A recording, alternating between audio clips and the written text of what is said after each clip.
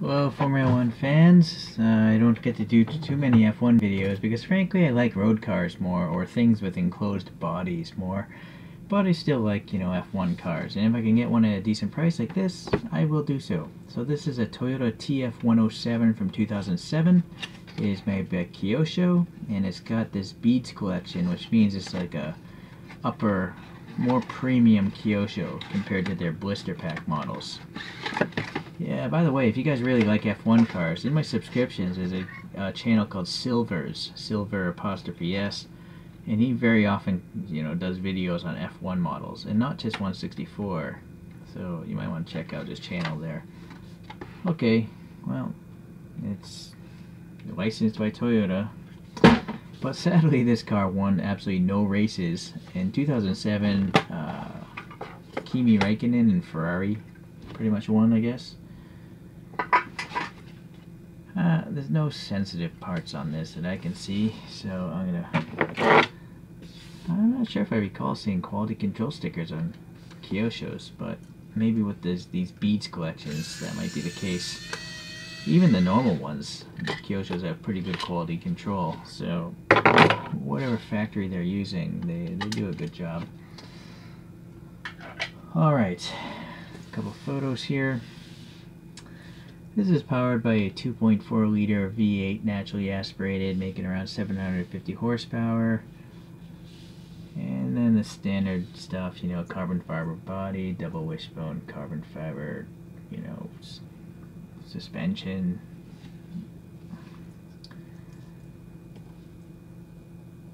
Alrighty.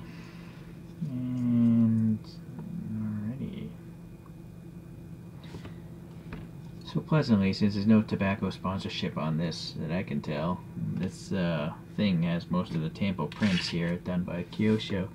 They're not decals, I don't think. I think everything here is a Tampo print, so that's that's nice.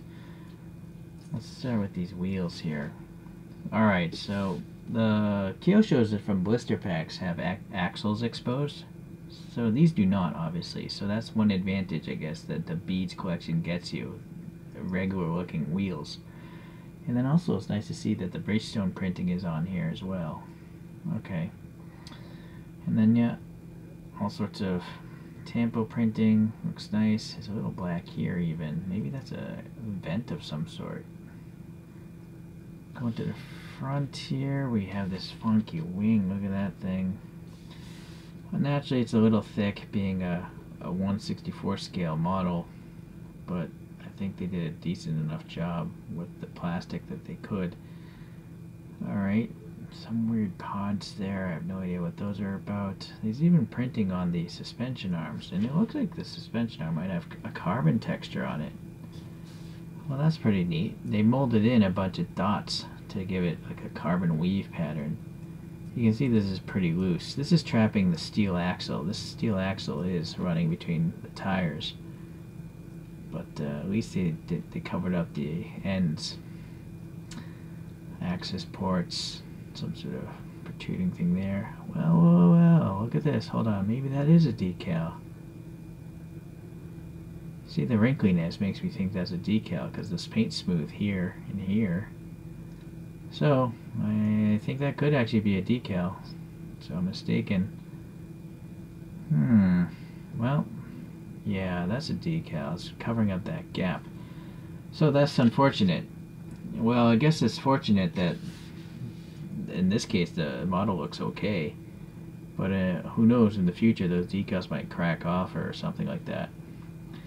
Oh, this is rare. This is actually a driver.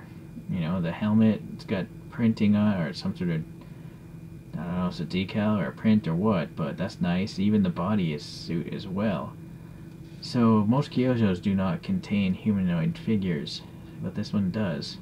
So that's another reason why beads are a little bit better, besides, you know, the clear box.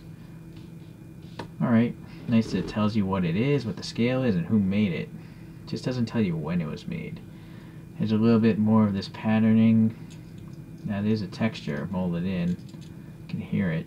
So it, it gives it that carbon fiber look.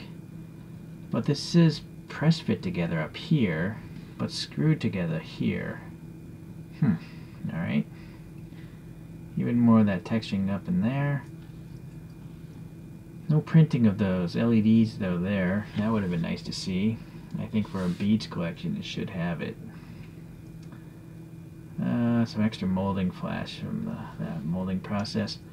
Printing on the wing and this thing here, the exhaust pipes I'm guessing. Black paint for the heat shielding. This thing's floating in the air. This thing's kind of got air passing through it. So there's a lot of detail. Actually, no, the air isn't really passing through it. A little bit is, but not much. Hmm. Alright, and then a bunch of wings up here, and then maybe that's a TV pod or a camera pod or something. Well, it's interesting. And then actually does roll because it does have those steel axles. Nope, sorry, my camera's low, so I'm always hitting it with my hands. So let's uh, pull out a couple other F1 cars. It's possible this might be the most modern F1 car I have in my collection.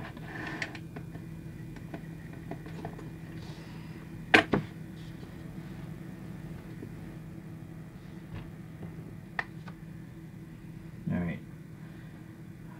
Another Japanese one I have is a Honda Super Aguri SA05 from the 2006 season. I don't think that won anything either.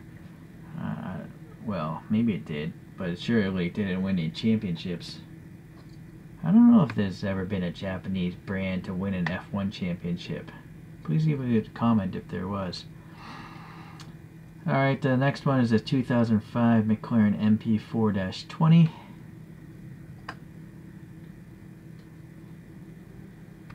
And then uh, the last one is a 2006 Ferrari 248. I think it says 248 F1 on the bottom there. So someone commented that this actually has the tobacco sponsorship on it. I think these little Nike swoops are supposed to be like West cigarettes maybe. So I don't know if those are added on by someone that owned this before me or if those were on there from Kyosho. Uh, I don't know. Well, if you look at these other Kyoshos, actually this is a nice one too. There's no exposed axles on this Honda. So this could have been a beads collection one as well. But this one, you see this, this is a blister pack one. It has the steel axle ends. What about the McLaren? Yeah, the McLaren also has steel axle ends. So McLaren and Ferrari are the regular blister type ones. And so that's the one of the ways that they I guess downgrade the price and the detail. But you'll notice all of them have printing on the tires. And the tires all have, you know, the treads. So they're all good in that respect. But yeah, these two have drivers. So I guess no exposed axles and drivers are what make them beads. Oh, and also these two have mirrors. These two do not.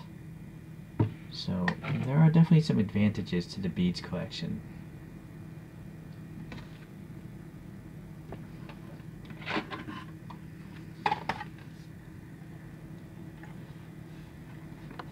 Well, sadly, Toyota never a top level F1 constructor, but uh, hopefully they learn stuff. Hopefully, whatever they learn racing around sooner or later trickles down to some of their road cars. Uh, I don't know. Maybe, maybe not. Please leave a comment if you know. Uh, so I appreciate you guys watching today, and. Uh, might be a while till I get another F1 car, so again, check out Silver's channel. But sooner or later I'll put another video up on this subject, so hopefully I'll see you there. Bye.